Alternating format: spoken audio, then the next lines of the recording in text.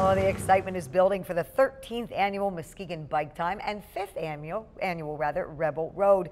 Both events are expected to be a big boost to the region's economy. 13 on your side, Lakeshore reporter John Mills tells us about the new businesses that will also be benefiting from the events.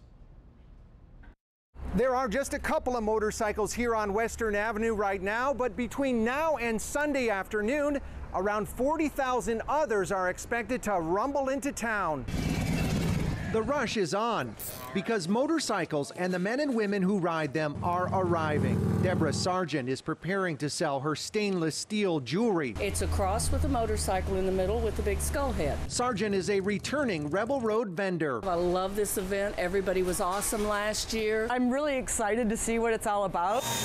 Dana Precious and her staff are rushing too. She's heard about the big motorcycle gathering. I cannot wait to be a part of it. And so she moved up the opening of her downtown Boomtown Market. Let's be a part of what makes Muskegon special and rocking this summer. Down the road, this new restaurant is preparing to serve big crowds. Trying to figure out how much meat we need to smoke. Dr. Rolf's Barbecue will sell hog wings from a booth outside the restaurant. Events like this definitely help us out. Well, at the same time, provide air conditioned indoor sit down dining too. It's going to be, I mean, fun and exciting. I think that we'll definitely kind of feed off the energy and try and provide the best service that we can. Bike Time was created 13 years ago to bring people to town. And Bike Time has done that. Bikers from all around the country visit Muskegon this week. 150 motorcycles and their riders will get to town using the Lake Express.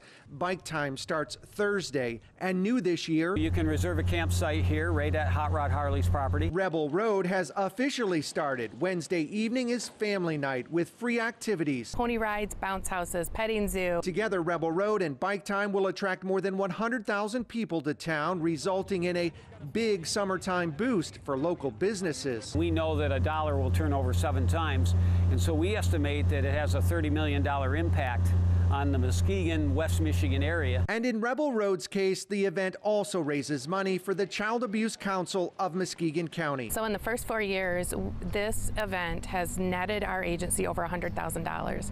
That is huge. I mean, we serve over 21,000 kids a year. Our services are free and they're desperately needed, and that helps us a lot.